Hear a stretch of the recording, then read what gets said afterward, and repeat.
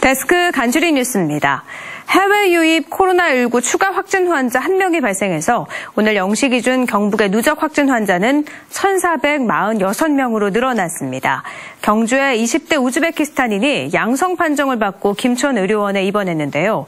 8월 이후 확진 환자 발생을 원인별로 보면 해외 유입이 63명, 광화문 집회 관련 26명, 사랑제일교회 관련이 11명 등입니다.